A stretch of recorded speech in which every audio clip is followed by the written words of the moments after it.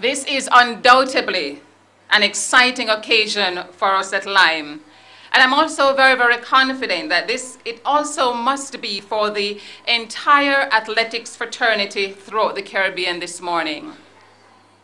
It is my distinct pleasure to officially announce Lime's investment of 400,000 US dollars or 36 million Jamaican dollars towards the sponsorship of the Carifta Games.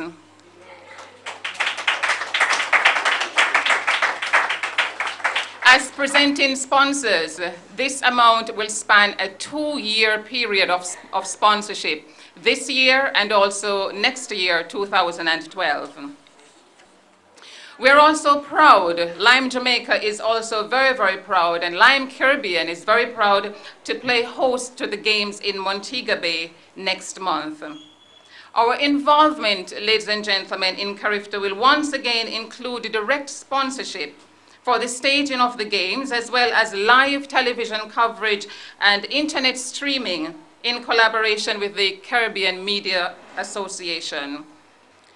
Sport, as you know, is dear to the heart of all of us in the Caribbean.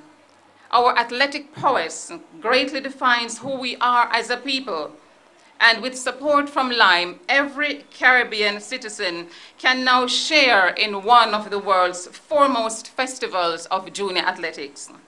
Lime has been very visible throughout not only Jamaica, the Caribbean, and the world, as far as our sponsor is concerned for sporting activity.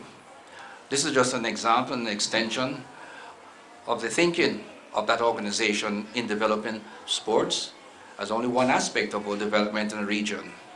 We're extremely happy with this association and it can only redound to the continued development of the sport in the region.